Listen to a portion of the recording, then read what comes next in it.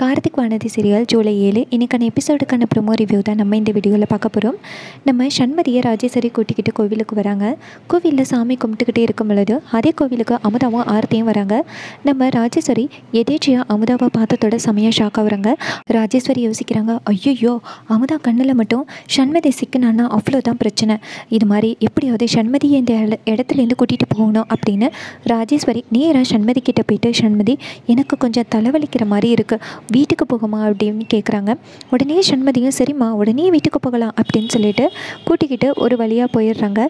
இன்னொரு பக்கம் அமுதா டக்குன்னு திரும்பி பார்க்குறாங்க பார்த்தா அவங்களுக்கு வானதி மாதிரியே ஒரு பொண்ணு போகிறத பார்க்குறாங்க சமய அதிர்ச்சியாகி ஆர்த்திக்கிட்ட ஆர்த்தி அந்த போகிறது வானதி தானே அப்படின்னு சொல்கிறாங்க அப்போ ஆர்த்தி சொல்கிறாங்க என்னம்மா முட்டாள் மாதிரி பேசுகிற எப்படிம்மா வானதி உயிரோடு இருப்பா? அவள் தான் செத்துட்டாளேம்மா அப்படின்னு அப்போ அமுதா சொல்கிறாங்க இல்லடி நான் வந்து வானதியை பார்த்தேன். இங்கே வா அப்படின்னு சொல்லிட்டு கூட்டிகிட்டு போகிறாங்க ஆனால் போய் பார்த்தா வேறு பொண்ணு நிற்கிது இன்னொரு பக்கம் ராஜேஸ்வரி சண்மதியை கூட்டிக்கிட்டு போயிடுறாங்க. அங்கே போன பிறகு நம்ம சண்மதி ராஜேஸ்வரிக்கு தண்ணி கொடுக்குறாங்க வீட்டில் அப்போ நம்ம ராஜேஸ்வரி சொல்கிறாங்க ஏ இப்போ பரவாயில்லம்மா அப்படின்னு அப்போ சண்மதி சொல்கிறாங்க என்ன மாதிரியும் உங்களுக்கும் தலைவலி இருக்கா? அப்படின்னு இதை கேட்டுட்டு ராஜேஸ்வரி அதிர்ச்சியாகி என்ன மாதிரியா?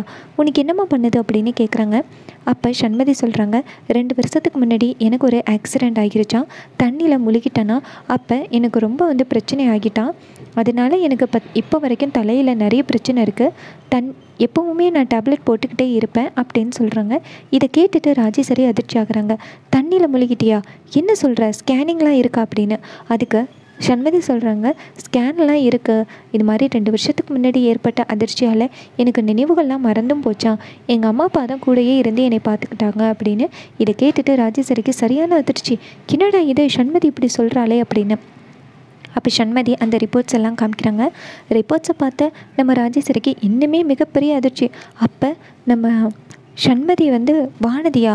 ஆனால் எதுக்காக அவளுக்கு எந்தவித ஞாபகமும் இல்லை? இந்த வீட்டுக்கு எப்படி வந்து சேர்ந்தா?